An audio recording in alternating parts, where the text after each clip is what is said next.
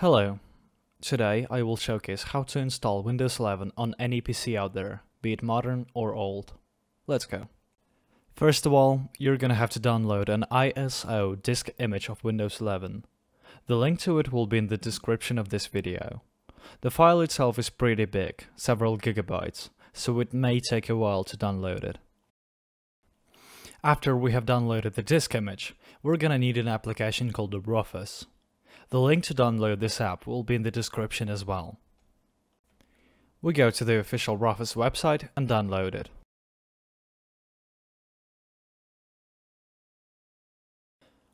We will also need a dedicated flash drive, where we will store the disk image.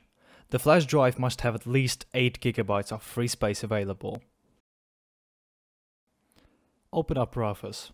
It doesn't need an installation. Here we select the flash drive, which we will use. Now we need to select the disk image. Press the select button. I have it selected right here. Here we must select no TPM option.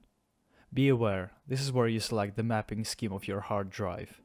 It might be either GPT on modern machines or it might be MBR. By your hard drive, I mean the hard drive that will be used to install Windows 11 onto. If you have access to the computer right now, then you will see its hard drive mapping scheme. To do so, you need to right click at the Start button and select Disk Management.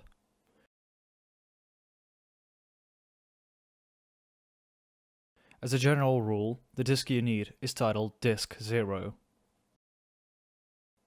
we press Properties, and in the Volumes tab, we see the scheme. If you see GUID here, then you select GPT in Rufus. If you see MBR here, then you select MBR there. I will reiterate, modern computers with UEFI BIOS generally have GPT scheme. If you happen to face a black screen after loading the system through a flash drive, then you need to select another mapping scheme. OK, we press Start. We see a warning that tells us that all the data on this flash drive is gonna be destroyed. If you need whatever data there is on the flash drive, then you need to save it somewhere else. I don't have any data on it, so I press OK.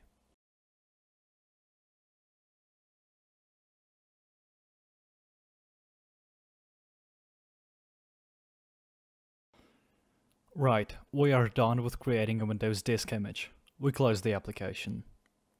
Pay attention now, we're gonna need to do something vital. Here we have a special file titled win11.reg. You need to drop it on this very same flash drive. We copy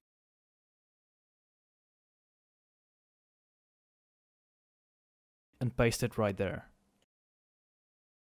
This file will also be linked in the description of this video. Now, we need to insert this flash drive into the computer that is going to host our new Windows 11 and turn it on. Keep in mind, we're going to have to make the computer boot from this flash. In 99% of the cases, you have your PC boot from the hard drive. To change the boot priority, you have to enter the BIOS and switch them manually. It is not hard to do and I'm going to show you the process in a second. To enter BIOS, you need to press a specific button while your PC or laptop is booting up. The button you need to press is tied to your hardware. If you own a personal computer, then the button is likely to be Del. It stands for delete. You turn on your computer and while it is booting up, press Del several times until your computer boots into BIOS.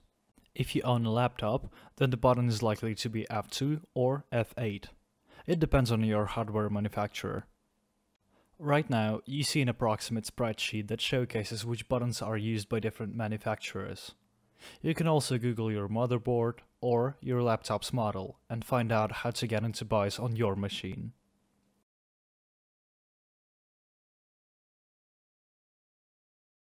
Sometimes the system hints at which button you need to press in the lower left or lower right corners of your screen.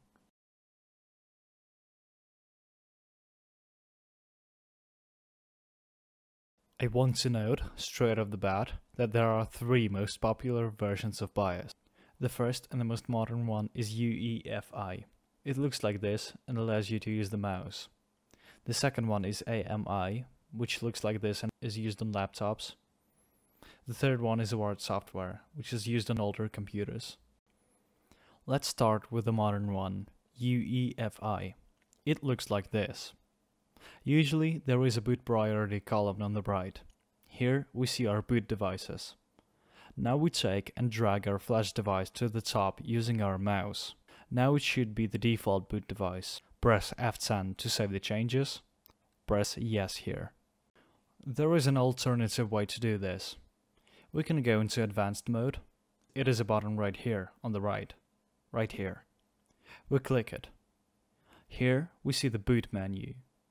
We select it and we see the boot priority 1, 2 and 3. We click the first one and select our flash device.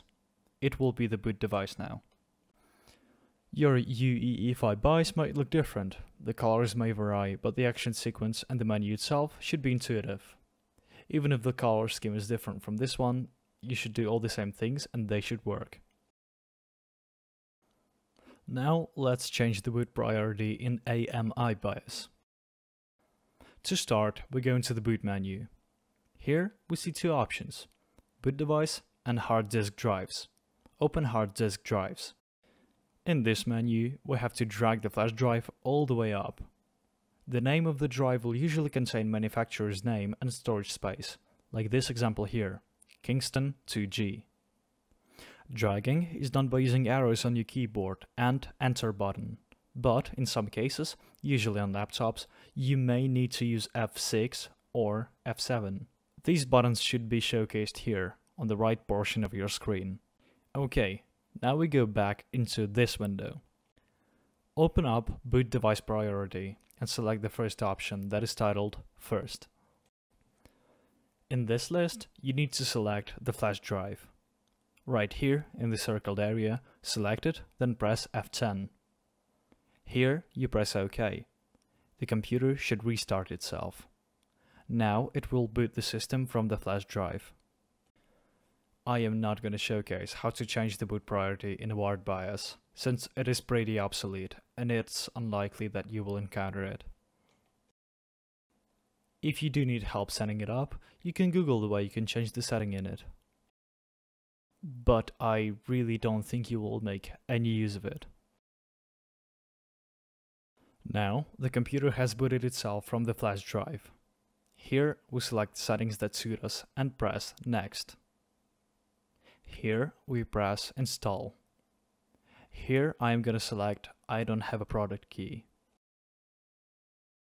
And then we get a surprise message, telling us that it is impossible to install Windows 11 on this computer. What do we do now? We press Go Back.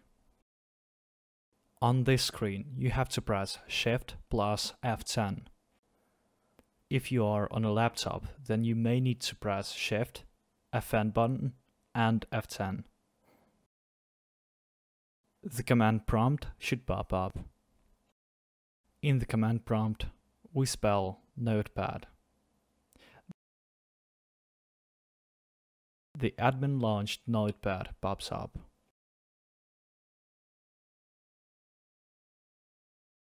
we press File, Open, and select our flash drive. Here it is.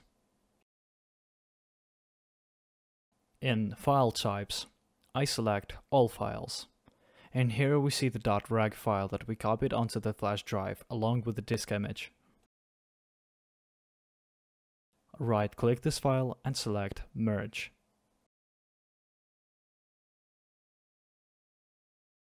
press yes, and OK. That's it.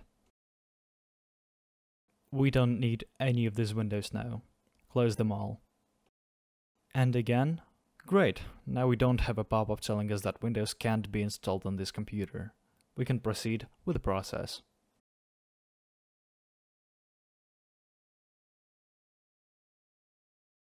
I select Custom Installation.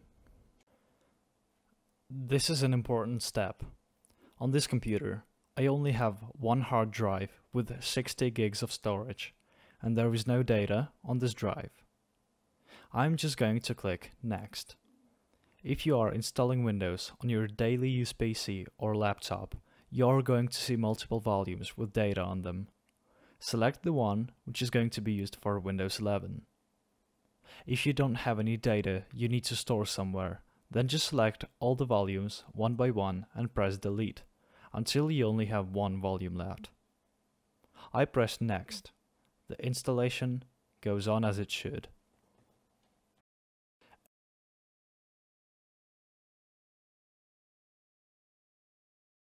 At this stage in the process, I recommend plugging the flash drive off your computer. We don't need it anymore. I recommend doing this because some computers might boot from the flash drive again and restart the installation. The computer has restarted itself several times. The installation continues.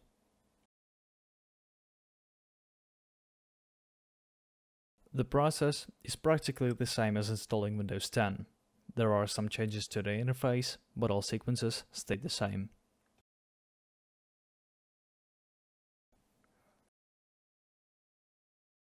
I press skip for now. I select setup for personal use here. Then Windows asks me to set up a Microsoft account, which I won't do. I'm going to set up a local account. To do this, we go into sign in options. Select an offline account. Press skip. Here you need to type in your name. I'm not gonna enter a password, but if you need one, you can set it up right here. I am not allowing any personal data collection.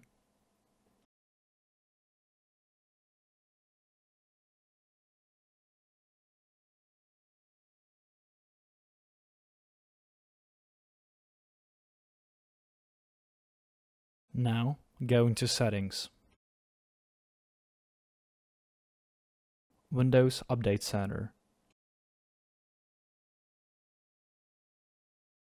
Press Download all the updates. This way we can download all latest updates and necessary drivers.